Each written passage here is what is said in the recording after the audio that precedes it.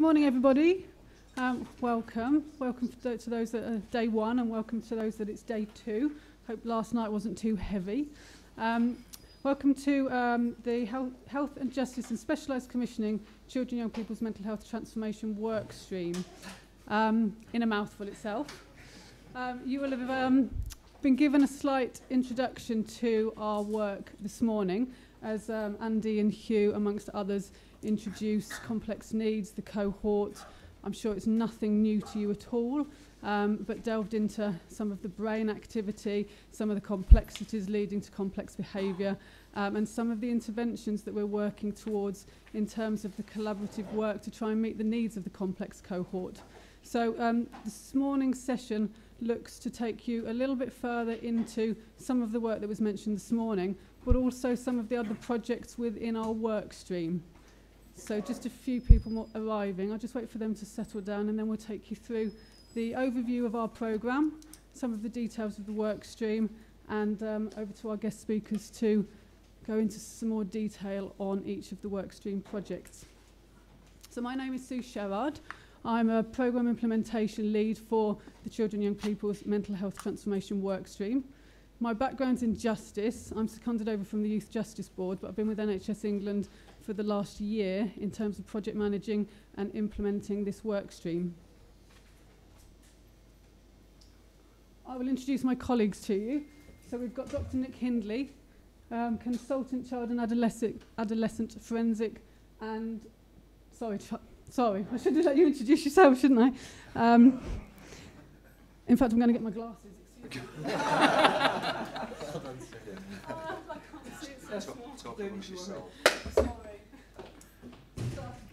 It might help if I can actually see the slides. Okay, consultant child and adolescent forensic psychiatrist. And Nick is the clinical lead for our work stream and also um, a clinical lead for the specific Community Forensic CAMHS workstream proj project within the workstream. Um, Dr. Andy Rogers, consultant clinical and forensic child and adolescent psychologist, and he's the clinical lead for our Secure Stairs uh, workstream project.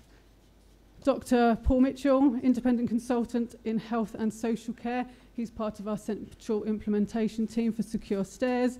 And Claire Braid has joined us from the Northeast and she's a child and young children and young people's mental health transformation lead within health and justice. So um, in the next hour, we will be looking at the overview of the workstream. Workstream Project 1 went by the name of Specialist Child and Adolescent Mental Health Services for High-Risk Young People with Complex Needs.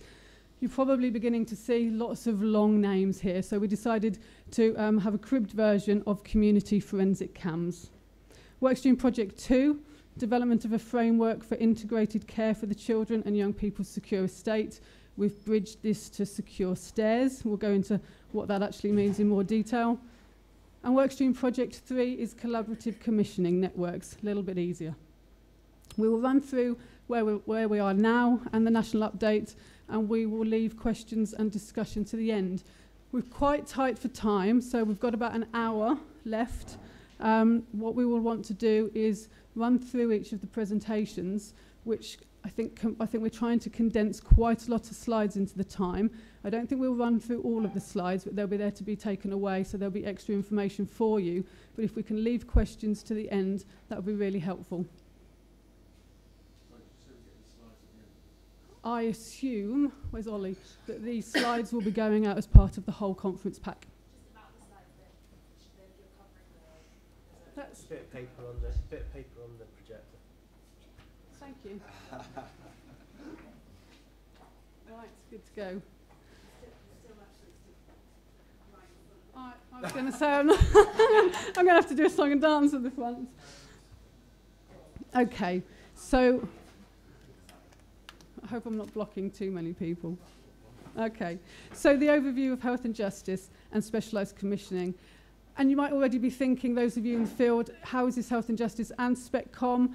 Um, a lot of the work we're doing, or some of the work streams, are key players here are CCGs, but we wanted to ensure that the young people that work within the health and justice pathway were recognised within the wider cohort that the CCG is used to working with. So Health and Justice and SPECCOM have come together in partnership to make sure that the needs of these young people are picked up.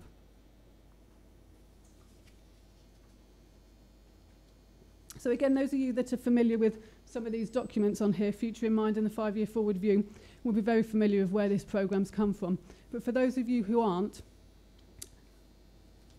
um, we have taken this programme right back to 2015 with Future in Mind. There was a task force that was coordinated and chaired by, uh, jointly by NHS England and DOH. Um, and out of that, Future in Mind was published. And it identified key themes showing gaps in the system, um, fundamental changes needed to support emotional well-being and mental health of children and young people. You can see some of those bullet points explaining some of the key priorities, needing to uh, promote resilience, improving access to effective support, care for the most vulnerable, accountability and trans uh, transparency, and developing the workforce. From Future in Mind, NHS England developed a five-year forward view for mental health strategy setting out the priorities to meet those needs, and then implementing the five-year forward view, which outlines the plan for delivery. So within that, we've got a program, the transformation program, 1.4 billion money pledged to improve the mental health needs of children and young people. And within that program sits our work stream, and we've got 21 million a year to um, manage the needs of young children and young people, bringing in new innovative programs.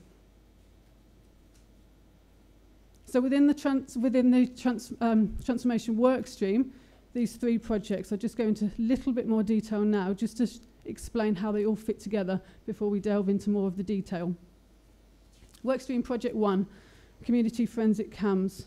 It's a project focusing on the needs of the young people, community forensic CAMHS teams being set up across the country, improving pathways and transfers between local services, trying to minimise the risk of young people moving out of county, out of area, and hoping to minimise those young people that need to go into secure care. Workstream Project 2 is, is Secure Stairs, a framework for integrated care. It's a whole system approach. It's what we were talking about this morning. A whole system approach to change, a whole system approach to integrated care. It's predominant, well, it's taking place within the Children and Young People Secure Estate. It's drawing from the trauma systems therapy that we heard about this morning, enabling environments that Ariane mentioned, um, and drawing from psychologically informed environments. Workstream Project 3 is collaborative commissioning networks.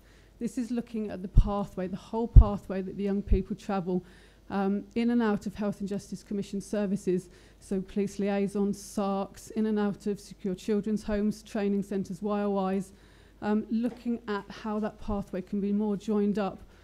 For many people that work with the young people within the custodial estate, we know that there's a cliff edge when they, when they leave. We also know there's often gaps of information sharing when they come in. This is not new, but what we're trying to do is bridge those gaps and understand that pathway and make sure that in local areas we can add value to meet the needs of the, those young people as they travel in and out of those um, pathway services.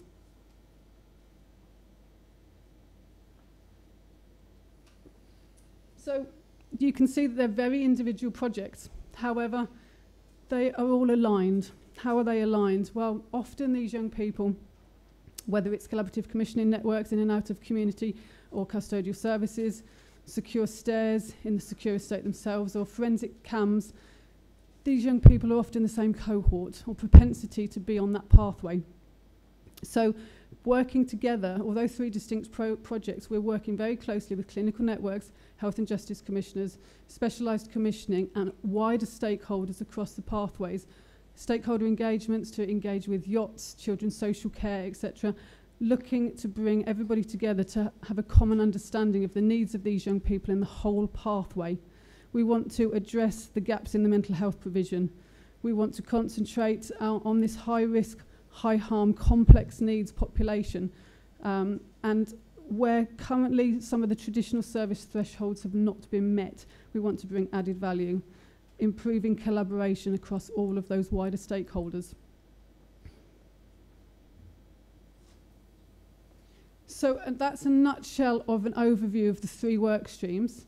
Um, we'll come back to um, next where we are currently and next steps at the end. But before we do, I'll hand over to my colleagues who will take you through each of the workstream projects in a lot more detail. So first of all, I'll hand you over to Dr. Nick Hindley.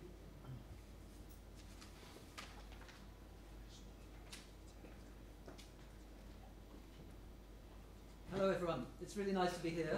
Um, I'll, I'll speak into the microphone. I ho- hope you can see. You none of you can probably see the screen, but um, um, but I, I think at least it's there, and these slides will be available for you. I, it's a bit odd having the microphone here with me sat in front of it.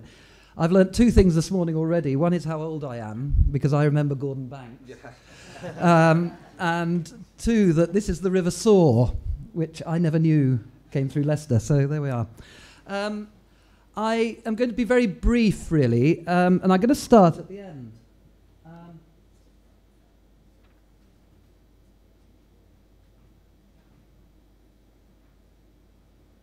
Right.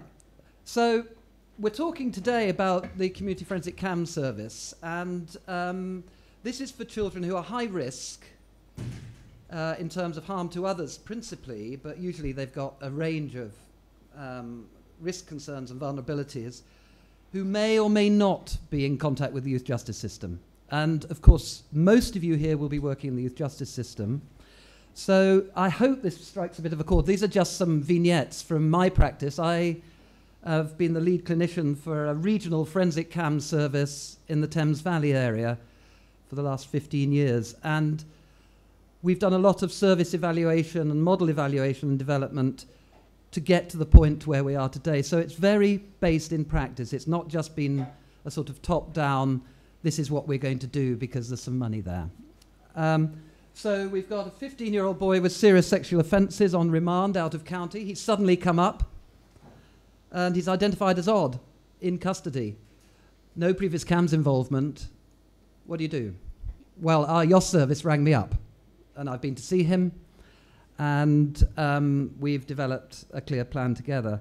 17 year old boy coming up to transition to adult services with long history of antisocial behaviours and harassment, long, long criminal justice history, on a full care order, placed out of county because he's on an anti harassment order in his own county, and he's, he's known to our service. And what do we do with him? The full care order is going to end, and he's high risk, and how do we get adult services interested? 14 year old with learning disability and autism in a special school who's taken a knife in and threatened a teacher on two occasions. First time, we said, well, you know, it's probably a one off. Second time, we couldn't do that. He's already had his YOS crime. He's, uh, he's already had his YOS knife crime intervention and his foster placement, which has been a long term foster placement, incredibly prote- uh, protective, are getting the heebie jeebies because they're actually fostering younger children as well. Got a 14, uh, 11 year old girl, long history of maltreatment, suddenly arisen, and she's seriously assaulted a teacher in her primary school. She's now about to go into secondary education. She won't see CAMHS. But we've been involved as the Forensic CAM service in thinking about what needs to happen in terms of safeguarding for her and then maintaining our involvement so that actually at some stage we can be involved in further assessment if we're needed. 16 year old boy in a care placement out of county with autism and ADHD. Recurrent serious assaults on care staff. The local CAM service don't know him. He's fantastically complex. And we've maintained our involvement to manage and support that transition before we hand him over, if it's going to last, to the service in the county that he's moved to. And then a 14 year old girl placed in welfare secure following a range of antisocial behaviours, involvement with YOS, assaults at home, and residential care. So she was placed out of our area, and again, we were, in, we were asked whether we would consider going and seeing her because she belongs to us. She's subject to full care order, because she's subject to the um, secure accommodation order. So basically, that's the sort of thing that we get involved with because our local CAM services are absolutely strapped um, they aren't accustomed. Sorry, Nick, it's phone. Oh, right. they aren't accustomed to dealing with these sorts of cases, and it's really difficult for colleagues in social care, education, and yo- youth offending services sometimes to get these kind of complex, not sure what's going on here sort of cases looked at. Often we will say, actually, I don't think it is clearly for uh, a mental health difficulty, but at least then everybody knows that we've seen it and thought about it so that everyone else can get on with what they're good at and without feeling too anxious that there's something there which they should have seen and have missed. So if I go back to the beginning,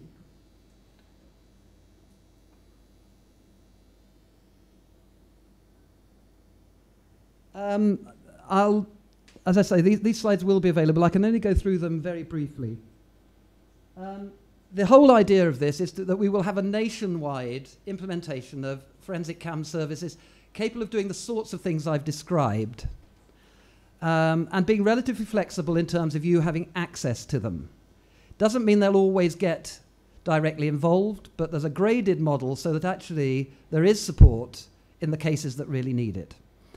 Um, this is a map which shows in 2013 we did a mapping exercise, and these were the areas that did have a sort of formal forensic CAM service which if you like, met a whole range of specialist criteria for that kind of service. It's not saying that other people, other areas don't have health workers who work in youth offending services and elsewhere, but it's actually having an overarching service which is both linked with local services and with the national specialist provision.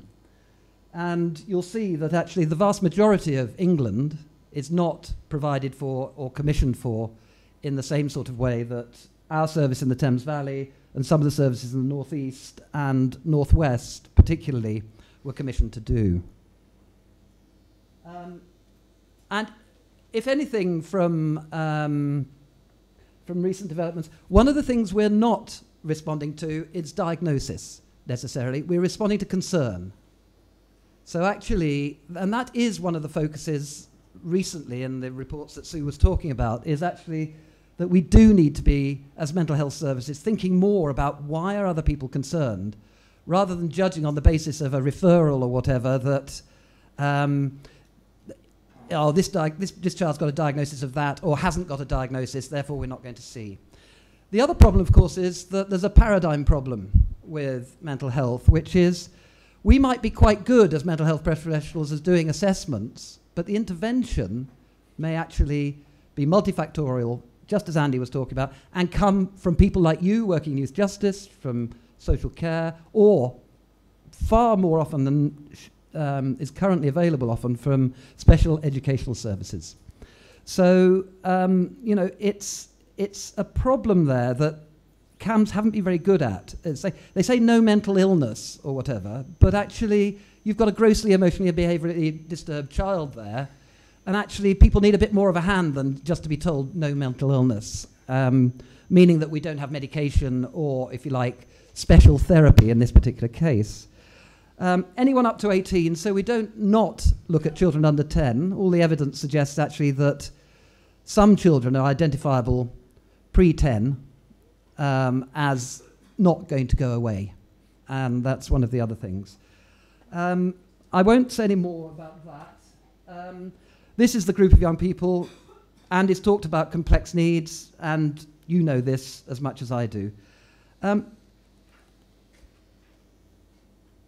the key model is that we have a small, experienced team who actually can cover quite a broad area. Other areas of medicine have this. Um, if you want a pediatric cardiologist, then there won't be one of those in every single hospital.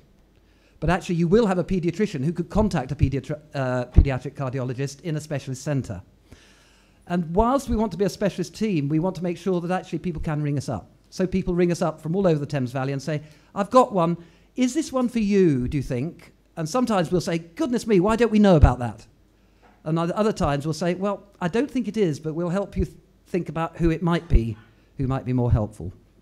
So there's the clinical side of things, and then there's a more strategic side of things to a service like this. So you've got to see the children you need to see, but actually you've got to help develop the cross agency collaboration. So, for example, in our area, I know all the directors of social services for children. I know the, who are the leads for SEN. If, if I need to ring them up and say, this child absolutely needs an EHCP and we can't wait 26 weeks or whatever it is. Um, I know our youth justice leads. And so we can have those sorts of discussions when a case really requires it. Of course, you mustn't use that sort of relationship too much. They can come to me as well, by the way, the other way around, and that works quite well. Okay. Um, one of the things that we think we need is um, a service which works in a catchment. So actually, our catchment is the Thames Valley. So if a child from the Thames Valley needs to be seen, and we decide actually that that needs to be done, if they're at Rainsbrook or in Kyloe House or uh, in, in some sort of residential placement in Cornwall, then we might need to go and see them there.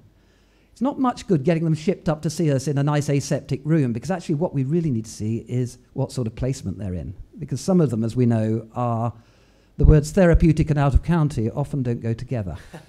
um, and uh, we're all far too keen on thinking that they do.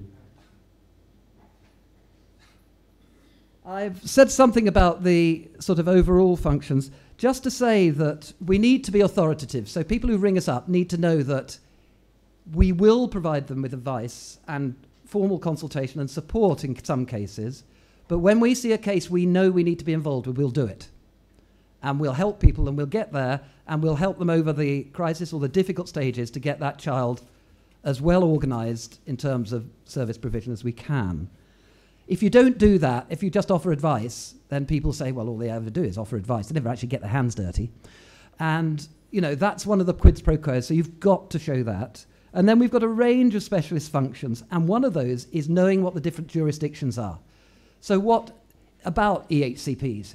It's not good enough for CAMHS or someone in CAMHS not to know what's needed in the HCP or what's in the Children Act. What's the difference between a full care order and a voluntary care order? You know, those kinds of things we really need to know in this kind of service to actually push it and make sure that some of these very complex, difficult to manage kids are going to the right sort of placement.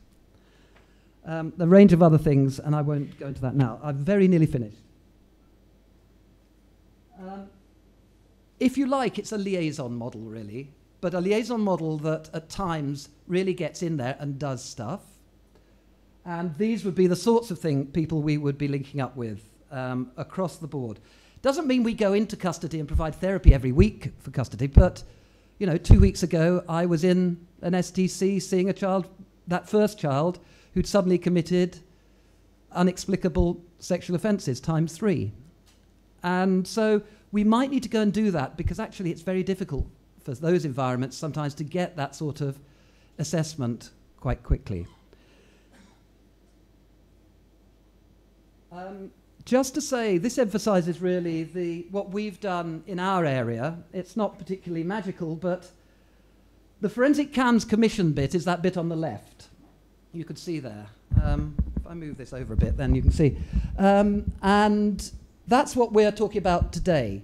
But we were commissioned to do this 15 years ago. And because we said we needed the clinical and the strategic side of things, what we've been able to do is to identify gaps in provision for this group of young people, which, in conversations with commissioners and safeguarding boards, we've been able to make the case for a separately commissioned service for children with harmful sexual behaviour, a separate service for children who've experienced sexual abuse across a catchment, a county in this case, Oxfordshire, and we've taken on the overall management of the youth justice side of liaison and diversion.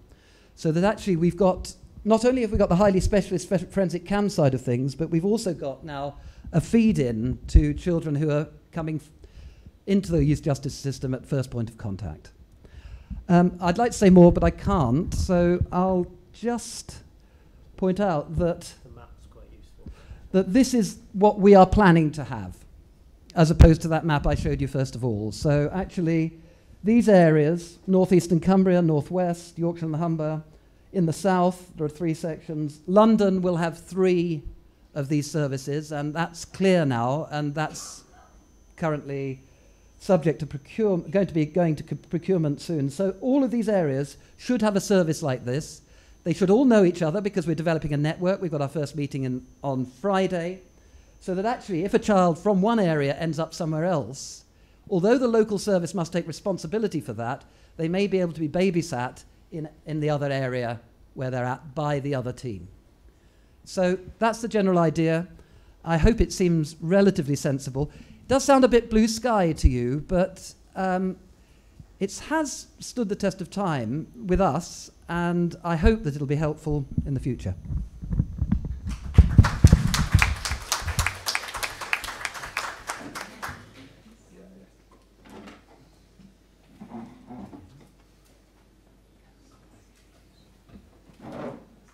Be radical. Can I? Uh, it, will it mess the media stuff up if I move to the side? Is that going to?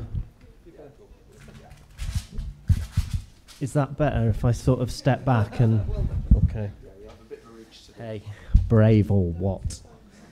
Okay, so I've got five minutes to do about an hour. No, not from you. To do about an hour because me and Paul are sharing this bit. So, and I've probably spoken enough already. How do I move it forward? Okay, so we're. I, I'm here to talk a little bit more about secure stairs. The, the, there's um, a, an awful lot more, so we will try and um, shrink it down as much as we can. It's not at the highest level. It's not really rocket science, to be fair. So the context is um, a sort of shift in focus, a recognition in the secure estate that this sort of uh, prescribed intervention ba- based way wasn't wasn't really meeting the needs of the young people and making the changes that we wanted to. Um, so moving away from focusing purely around the young people and looking across the whole system. It emerged from some work that we did in, in Hindley, but it wasn't just us. It was, you know, uh, lots of stuff, the, the Tricia Skuse stuff in, in Wales as well. Um, and there's a paper uh, that Paul uh, uh, um, authored that, that you can have a read that, that's, that's on there. Um, but it draws from an, a myriad of other things, include of working with foster carers, which now focus around working with foster carers rather than working with children, which has this emerging not just evidence-based but practice-based evidence. So not necessarily RCTs everywhere, but actually people say this feels like a way forward from people who are working at the rock face.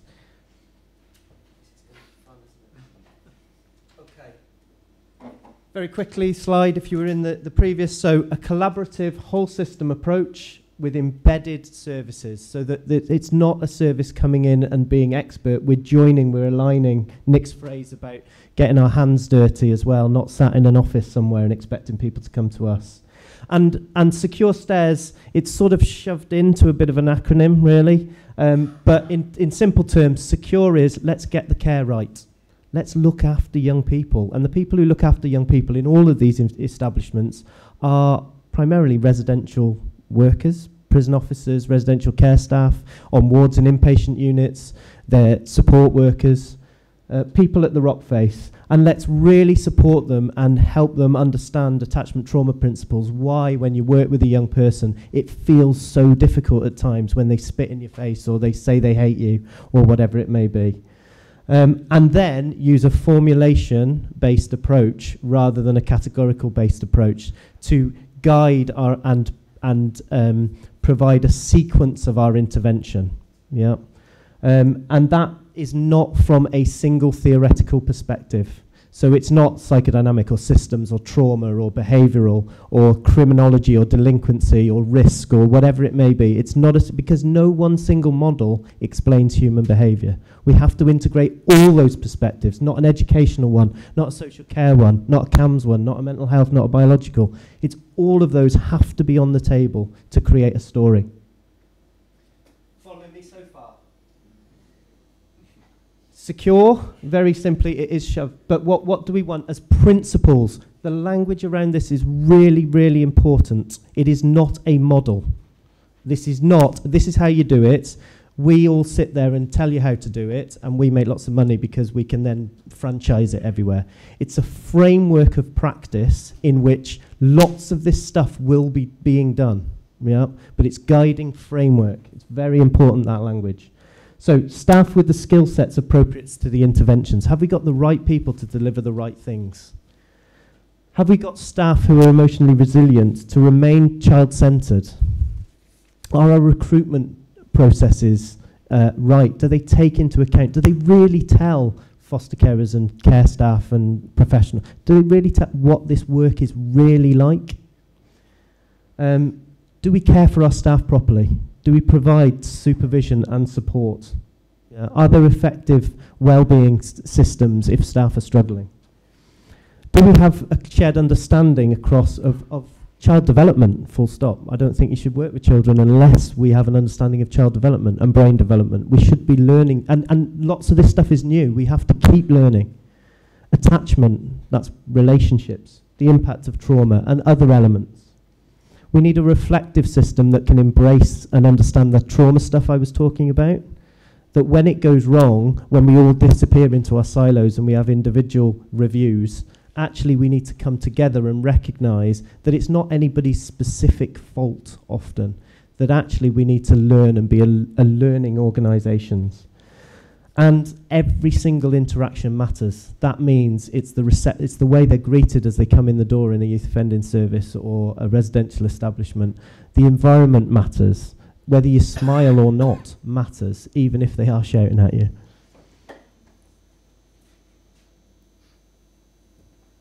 Stairs is just formulation, multi-systemic formulation. and that's what I want to get onto really. So how do we bring all these multiple perspectives together? And we use the, the metaphor. I'm going to just talk like this. We use the metaphor of the, the blind men and the elephant. So these are all different, these are all blind people, we should say, shouldn't we? Um, all with different perspectives. So CAMHS worker, YOT worker, young person, parent, substance misuse worker. And if you take them up and give them different parts of the elephant, they all think they're working with something different. So substance misuse workers working with substance misuse. The CAMHS workers working on mental health. Yeah. And it's only when you bring those people together first, before we intervene, not driven by a category, to understand and assess properly what we're working with, get a story that actually they can see that they're all working with an elephant.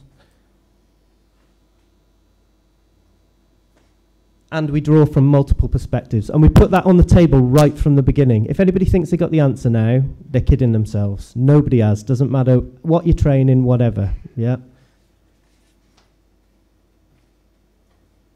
So what's formulation? Um, I think I'm going to I'm going to skip this bit. You can read it because Paul needs to come on and talk to you actually about what it looks like. But I am going to just put another slide up. which is. So this is what we often do. Joe has ADHD, displays violent, has anger management difficulties. So we intervene with medication for ADHD. We give some thinking skills and victim empathy work for anger management. Any nods around the table? Yeah. This is a formulation that that's developed, and this, this is a composite sort of thing. Joe has difficulties recognizing and regulating his emotions, particular anger. His early experiences of domestic violence have led to a stress response system as always on. This permanent state of high anxiety can explain some of his difficulties in, in attention because if you're worried about where the next trauma's coming or threats coming from, you're going to be impulsive, inattentive. Um, his early attachment experiences, characterized by neglect, have led to him being independent streetwise. He doesn't seek help, bottles things up, and overthinking and control um, uh, have developed, which in the short term may seem helpful, but in the longer term builds up emotion and with this sensitive stress response, we get a bottle, bottle, bang. So he trundles along the floor, tiny trigger, bang, we get some uh, a problem. He's had reduced opportunities to develop emotional recognition and regulation and to understand the emotions of others, empathy. We're not born with the ability to understand the emotions of others. We develop it over time through relationships. So if we just teach more cognitive skills to control anger or understand the impact of behavior, so if we work on the cortex, the thinking, they may be unhelpful and just help him to bottle it up more if we manage it and keep it under. What we need is a relationship with a caregiver who can co-regulate what we to share and guide and model, model vulnerability and label and discuss emotion. That's how we learn emotional regulation through relationship. We don't teach children we don't, we don't sit down with them and give them a worksheet and, and talk about cognitions. We experience and model through relationships. Um, he may benefit from kicking a football around um, to release frustration so as he doesn't get to bottle, bottle, bang. And actually, if we're going to work individually, let's work on the anxiety that underpins the anger, not the anger itself. Does that make sense? Okay. A very different way of looking at, at things. That doesn't discount medication as well, might be useful, but it's a different story that guides our intervention. Sorry.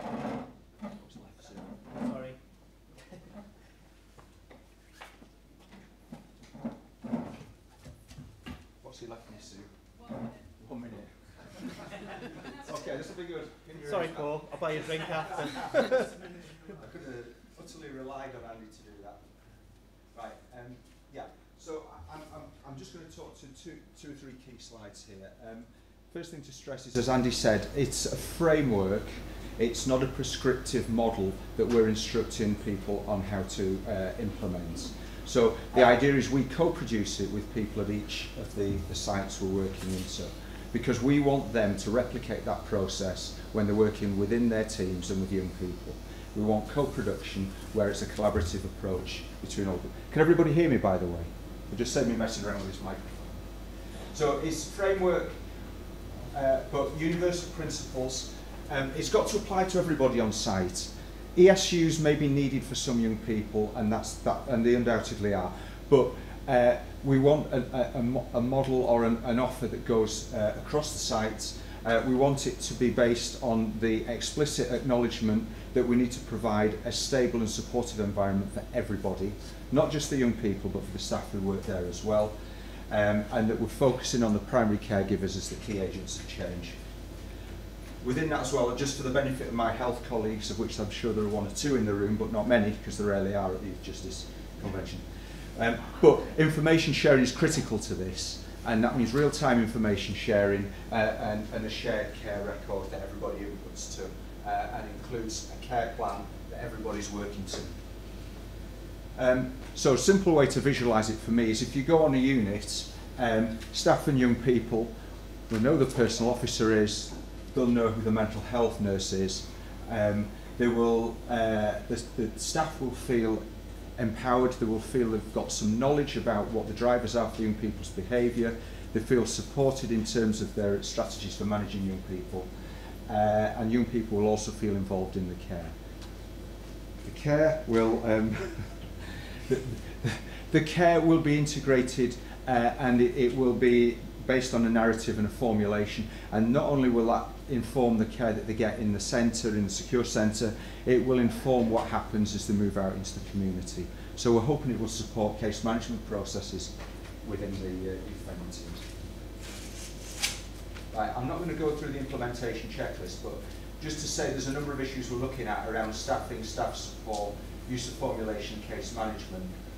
Um, in terms of uh, supporting the delivery of this, we're, develop, we're, we're looking to uh, get a, a, an implementation site in each centre which will have senior representation from people responsible for looking after the young people day to day, that's the residential side, the casework uh, or social work side, because they're the legal parents, so that would be casework in, in a YOI, for instance, whereas in a children's home, uh, it, it may be that that's part of the, the, the role of the uh, senior residential staff and the mental health team who are going to be providing the psychologically informed care. It will involve any other disciplines we can get involved in the process, but that's the key, the key players really.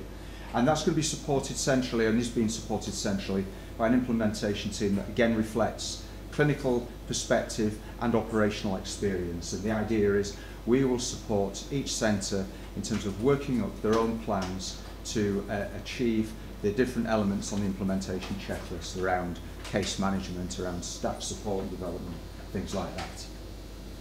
Um, and also we're linking it with um, central developments around policy that are happening within YCS, HMPPS, things like that. Um, as well, there is a clinical network we're developing for the clinical leads who are going to be responsible for the, the high level, um, if, if, if you will, oversight of this at each centre. So from a clinical point of view, from the mental health point of view, we need senior leadership, high-level leadership that's, that can provide the containment within the system and the expertise and the experience for the complex cases that we're working with. But we also need boots on the ground. We need mental health practitioners who can work alongside the staff. It's not enough to position, otherwise we'll have a bunch of psychologists positioning themselves as experts. And that's exactly what we're trying to get away from. Um, But professional network will support the development uh, of the, uh, uh, will, will assist with the implementation, it will help with uh, normalising, peer support, peer review, it will help with quality assurance issues and it will help to take things forward. Because the other long-term goal of the project is to make the project redundant, which is that the, uh, there's a legacy afterwards, which is the systems we set in place will be uh, self-sustaining. Um, and to that effect, we've embedded the, the, the, work of this, which started as an NHS England project within the governance frameworks of uh, DFE and MOJ, or MOJ, as apparently we now refer to them, uh, and HMPPS. Um, also, we're looking at conf a consortium amongst healthcare providers so that that can provide a, a, um, a financial and clinical framework for the long-term future of this work from a health perspective. Just finally, um, few warnings, red flags. Be careful of the experts, they'll let you down. Uh, expect problems, there will be them. Uh, if the leadership is right, then we, we'll, we're replicating something at a senior level which will play out in, throughout the system uh, as it goes down and that will inform on the, uh, the care of the and management of young people. Um, and we actually have to be, if we're going to create resilient systems, we have to actually be able to acknowledge a problem within the system if it exists and be mature enough to, uh, to have a discussion about it. But if we have services or providers that are not playing to the script, we need to be able to have a discussion about that because it's no good pretending we've got all this multi-agency, multidisciplinary stuff and lots of documentation to support it if the reality is that, uh, you know, that, that the mental health lead won't talk to the residential lead because fell out of the decision making of some kid three years ago. Does that make sense? Right, okay. And uh, that's it. Thank you.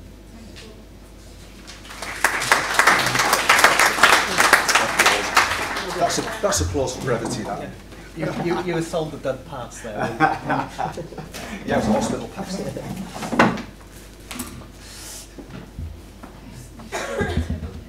Ten minutes, a whole ten, use them all. okay. Okay. Okay, I would just like to uh, spend a few minutes just taking you through our experience of establishing collaborative commissioning networks across Cumbria and the North East. So my role is within the Health and Justice team in Cumbria and the North East to lead specifically on this project. So my background isn't in youth justice nor mental health, but it is in engagement and networking and service improvement, which is why I've been, um, I was sort of brought in to lead this project. So this is a really broad-ranging project. I probably could change my slides. It's a really wide-ranging project and it considers the whole pathway for this cohort of children and young people. So it, it's really around engagement, it's around understanding what are the gaps, um, and it's about it's very closely linked with the broader children and young people's mental health improvement agenda, which is linked to Future in Mind, as Sue described earlier on. It, we heard a lot this morning about breaking down silos and this project really helps to try to aim to support collaboration on the ground and really helps to, to bring that engagement together and get all of those agencies working more closely together.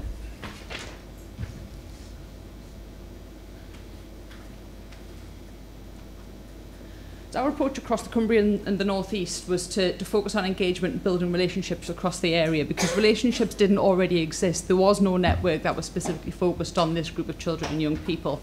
So we had to set about trying to understand where the gaps were in the system, where the fragmentation was, and think about how we could develop a network. We needed to understand what that meant for our services and for our children and young people, and establish our starting points so that we could frame the project going forward It quickly became apparent that just focusing solely on those Health and Justice Commissioned uh, services, so liaison and diversion and the SARCs and the secure estate was only one part of the problem and it was really the interface between all of those services and the gaps that children and young people may fall through as they move through the system so that's why I needed to consider the, the full pathway um, and also the role that I have has very much an advantage of being a central connector. So I can see all of the services across Cumbria and the North East and have the opportunity to understand all of the, the services and provision in different areas and link people up. And that in, not just in health that also includes youth offending teams local authority services voluntary and community sector services and the police. So it's thinking very broadly. In terms of establishing the network, the first thing we needed to do was to identify who our key stakeholders were. So from a range of sources, including the Health and Justice team, they could help with contacts within the services that they commissioned. Um, our YJB relationship manager helped with yacht contacts, um, and CCGs and providers, CAMS providers, was some knowledge that I had from my previous role in the clinical network. So there were some relationships already in place. So there was a lot of work done in the early days, which was around going out to meet with people informally over coffee to understand their perspective of the mental health needs of the children and young people that they work with. And that helped to really build a picture of all of the issues that people were coming across in their day-to-day -day work. And again, that was across health services, across sort of local authority, um, the police, youth offending teams, the secure estate, and that was commissioners and providers. So it was really trying to build a, a really big picture of what the current issues were. And from these discussions, there was a number of emerging themes came up. So I've got some on the slides. I'll just run through them really, really quickly. Um, these are things that you'll probably find very familiar. I don't think there's going to be anything in here that's going to be a surprise to any of you. So this was some. Th these were things that were across all of Cumbria in the northeast, um, and I would imagine that they're not exclusive to Cumbria in the northeast.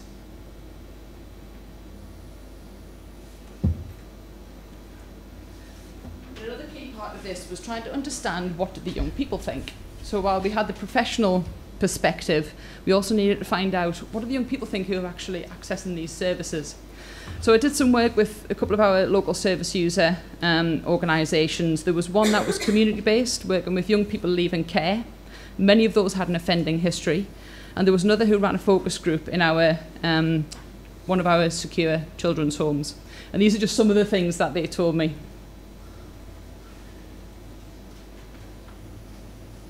Again, probably nothing that you haven't heard before.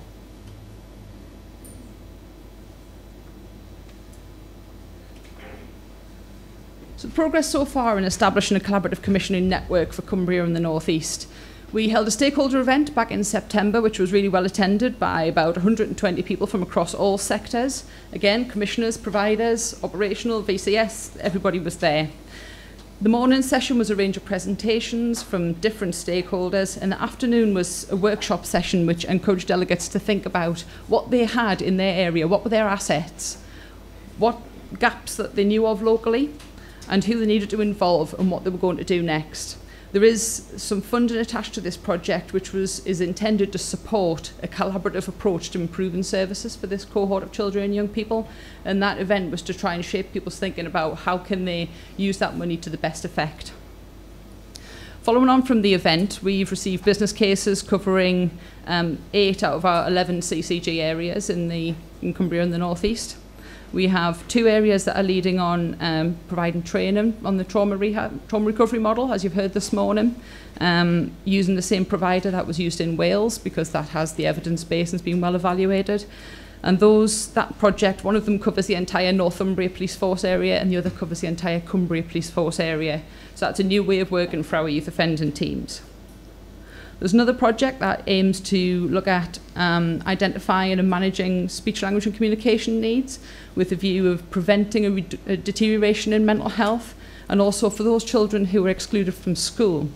Uh, looking to train those staff in the pupil referral unit to try and reduce the amount of time that they're out of mainstream education. We have another project which is it's linked into quite a unique project that we have going on in the Durham Constabulary area um, around the Child Advocacy Project, which is linked to their, their SARC. Um, and this is around providing clinical psychology input into the yacht to help to upskill the yacht staff in how they manage their interventions with children who are displaying harmful sexual behaviour. And that covers the, the whole Durham Force area.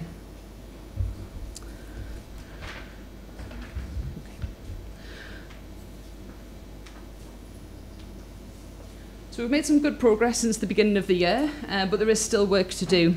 One of the things is around coverage and trying to, to work out how we can roll out projects across all of the areas. It's, it's important that it has to balance with local need, um, but also make sure that we have an equitable service across the patch. We've established a steering group recently, um, which is more of a, a learning network, and the idea of that network is to share the learning and the knowledge from some of these projects and try and bring people together with the, the common goal of improving outcomes for this group of children and young people. We are taking a North Region approach to this. Um, so we have a health and justice team based in the northwest and in Yorkshire and Humber, and together with Cumbria in the northeast that makes up the, the North Region of NHS England. So I'm working closely with my counterparts in those teams to, to try and get a North Region approach that we can get some equity across the whole of the North of England and not just in one patch. We're staying very closely linked with the clinical networks, and this is really important. The clinical networks are leading on the, the broader children and young people's mental health transformation agenda, and of which this project is part of that. And it's really important that the, the needs of these kids are linked in with that and that they're not forgotten about. So this is something that you can all be involved with. There's clinical networks in every area. And if you, you need to, some information about how to get in touch with the clinical networks or how to get in touch with your local health and justice team or your collaborative commission and networks lead, I'll be around at lunchtime. I can help with that, or Sue can help, so we can link you in and get you involved in the, the local projects. The project is ongoing across the country. It is at various stages, um, and please, you know, be involved because the more people that we have involved with this project, the better. Thank you.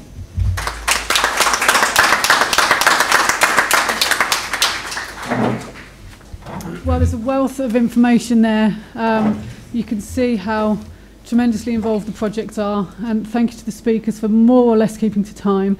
Um, I've listened to them speak many times, and they can go on for an hour and it still me. be absolutely captivating. So to crush it all into 10 minutes per person has been amazing. I was just going to run through um, some next steps uh, and some updates for you, but I'll keep it very brief because I really want to give us an opportunity to have some questions. So as you can see with um, forensic CAMHS, we're mobilising um, 10 area specialised commissioning teams. Um, within Secure Stairs, we're mobilising in 20 secure establishments, that's youth justice and welfare.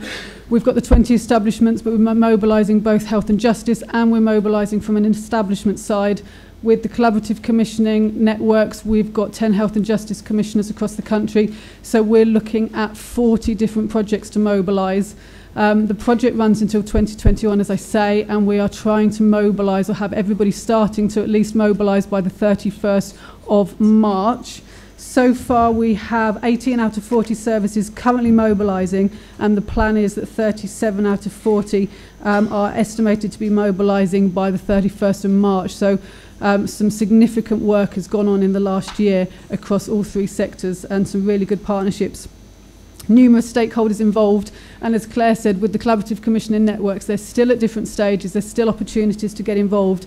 Same with Secure Stairs. We're, we're going into the establishment. Secure Children's Homes are further forward. Rainsbrook's probably one of our front runners. The YOIs are starting to develop their plans now, so there's still huge opportunities to get involved there. We are in the middle of procuring evaluations for community FCAMHS and secure stairs. Um, preferred bidder notifications went out Monday this week. We're looking to award contracts by December and be mobilising by the 1st of April. We have issued national KPIs, so we will be looking to collect monthly data to keep a real handle on this and monitor progress, collect evidence-based practice and share that um, and working really closely with MOJ, HMPPS, DFE and YJB, especially around the youth uh, justice reforms, significant reforms going on across the entire estate. We want to make sure we're aligned and it's not a, just another bolt on, that we're aligned, we're aware of capacity issues and priorities for the sector in the estate. emphasis the whole time on co-production involving the children the child's voice um parents and carers' voice, not only in their plans, but in the service development as we move forward. and I'm not going to spend too much time on this slide because, as I say, questions are more important. But basically, the work continues. We will continue to support all the different 40 projects. We will continue to work with our partners. We're working on funding arrangements to make sure we can move forward as whole system approaches. Um, carrying on with the alignment, procurements are continuing, and basically we want to move forward to demonstrate the benefits because if we can demonstrate the benefits the life of the program may end in 2021 but hopefully the funding will become recurrent and we will be able to have all of these projects mainstreamed and ongoing. So thank you for listening to us. That's the three workstream projects in a nutshell. I think we should have seven or so minutes left for questions so i'll open it up to the floor hi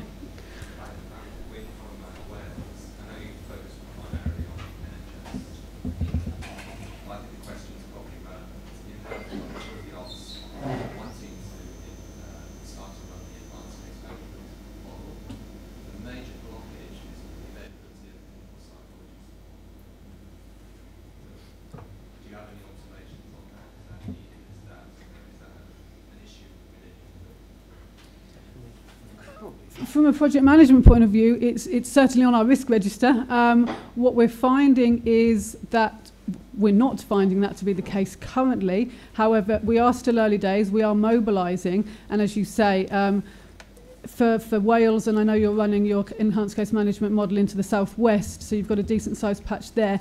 We are obviously looking at clinical psychiatry, um, forensic psychiatry, clinical psychologists across the country. But actually, a lot of the focus again is about boots on the ground. It's the mental health practitioners. We haven't found it an issue as yet. It is being monitored. We speak with our commissioners uh, on a regular basis and hold steering groups quarterly. The feedback so far has been positive, but we are watching this space. I don't know whether uh, my colleagues want yeah. to come in on this. Yeah, I think I think use use of the, the, the language. I think one of the big big things is recruitment. Um, and one of the things I wanted to say as part of it is that this is a this is a massive challenge. Um, it's it, it is a paradigm shift, changing that fundamental question, and that challenges clinicians.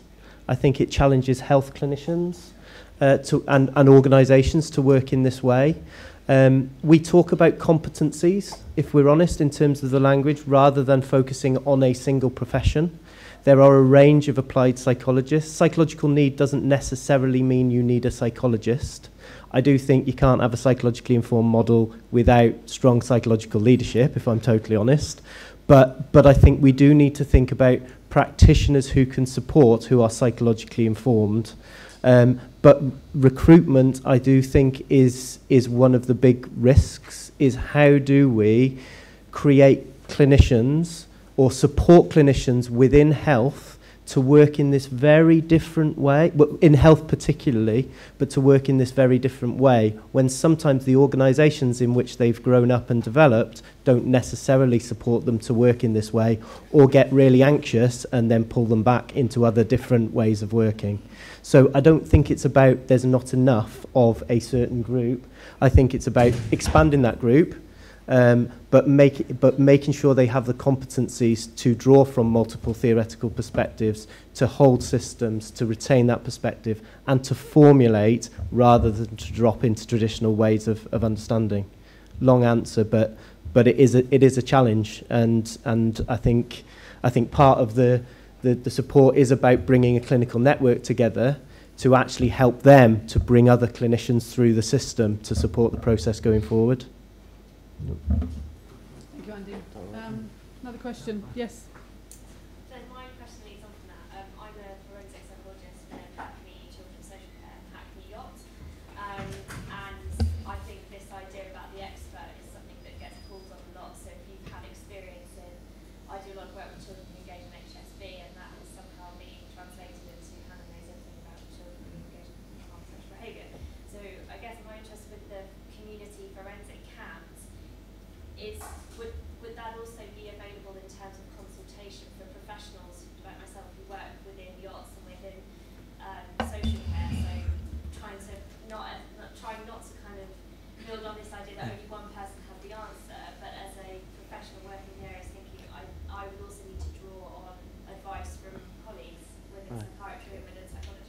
We couldn't do it without having that sort of idea. One of the things we've done, because we have a small team, but a very experienced team, covering, I, we cover 2.5 million in the Thames Valley. Um, and what, what you need to do is to, you've got your core team, but actually you need to develop people like you as strong links. So actually, you know you can ring us up, and we know we can ring you up. And that actually you feel supported by us in the way I described. That actually, if you've got one that said, if you've got something which you say, I think we really need a hand with this one, can you come and see? Then we'll do it. But, um, but most of the time, we'll be supporting you because you'll be doing the right thing and you may need someone to check it out with. So we, we know, and one of the key things about this is knowing, is making sure you've got a model which picks up the right, the sort of children, young people you should be picking up. But it's also about identifying the professionals because in some areas, professionals will be much stronger in working with this group of children, whereas in other areas of your catchment, they won't be. And so, as a service, we've got to know how to respond to those differential needs because actually, what you're doing is responding to a network. Because actually, what in the end, the, the, the area that isn't so good at working with that particular sort of problem may need us to go, whereas in the other area, we wouldn't have needed to go. And we need to understand that, and then we can help provide the training for the area that actually isn't as confident. And part of that training is about being there and them joining us and seeing that what we do is not rocket science. Um, so I suppose it's as you describe it, and what you're describing is exactly how we'd want to be. We do, uh, in the Thames Valley, we have regular CAMSIOS link worker meetings for our area because we identify the youth offending teams as being particularly important in thinking about this group of young people. And so, you know, every three months we meet up with them. And we have a, a consultation session. We think about who's doing what, is it going okay, what are the constraints, all of those sorts of things, as well as any clinical cases. And that means you can maintain the contact and then people can get in touch with you in between and they're not worried about sending you a 95 page referral letter. You know, actually, they can just say, pick the phone up and say, Can I just discuss this one with you, and we do that all the time. And we've talked about, uh, uh, it draws on the trauma-informed ideas and the trauma. It's about actually providing services that genuinely help people manage the anxiety around these cases and joining with them, regulating with them, um, and, and not being an expert to say you've done it right or you've done it wrong, rather than we'll join you in the mess, and we'll just, we'll just give you a bit of support. And we've talked about that a lot, isn't it? Anxiety think, management, really. I think there's a tension about not being an expert, actually, because yeah. actually you, you know, you wouldn't be ringing someone up if you didn't think that they could help they you, value. and you no, wouldn't no, be right. you wouldn't be asking Absolutely. someone who you thought was a complete idiot to do that, would you? Because actually, you you wouldn't bother ringing them up. So actually, there's a tension between realizing that you're suitably qualified, you know, being sufficiently authoritative, but also being very accessible and able to think. I suppose psychologists would say Socratically, you know, and um, you know, thinking about it from different perspectives. Thank you. Another question. Did you want to comment on that? No? Another question? Yeah, I've got a question for you. Like working as a school children's home, I'm the head teacher. It, it, it strikes me um, that we're having some difficulty with information sharing, mm. um, and it's partly because there are different systems for yes. uh, recording information, and sometimes we're getting a response that the mental health worker is working with you in person, but yeah. we don't know what that work is, yeah. and yeah. yeah. yeah. deal yeah. about that work. Yeah. And that, that causes a problem to me. I've yeah. seen it like uh, you run your house, but somebody from the outside comes in and they're in charge of the washing and ironing. Yeah. Yeah. I quite like that. Shirt because yeah. someone ironed it, or I can't a shower yeah. someone's using the washing machine. Yeah. And there's an impact across the whole home because of that. And I'm not clear at all who's the one that's responsible. Because if I was the home manager and looking ahead to secure schools, presumably a head teacher would be the home manager in that sense. If you're bringing somebody in, apparently from the outside, who's the one that's responsible the, for that? Because formulation is fab, it yep. really is, but the whole got a lot of time to formulate, and it's not working yep. everybody else. The whole model is about integrated leadership. So, you know, in a, in a secure establishment or in a YOI, the governor's the boss, fundamentally, because they're the person in charge. In a foster home, the foster carers are, in, are the boss. They take ultimate responsibility. But it's, a, it's, it's ensuring that those leaders are aligned Um, so it's shared responsibility. In terms of the sharing of information, that's about calling that out. And that's what I mean about these ideas, actually really challenging traditional systems. We all know when things go wrong, the criticism is people didn't, one of the crit- significant, people didn't share information.